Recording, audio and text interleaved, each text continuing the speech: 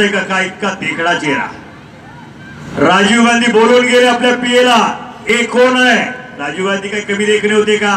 पण ते ब्राह्मणी सौंदर्य, हे मर्दानगी सौंदर्य. एक कोण आहे?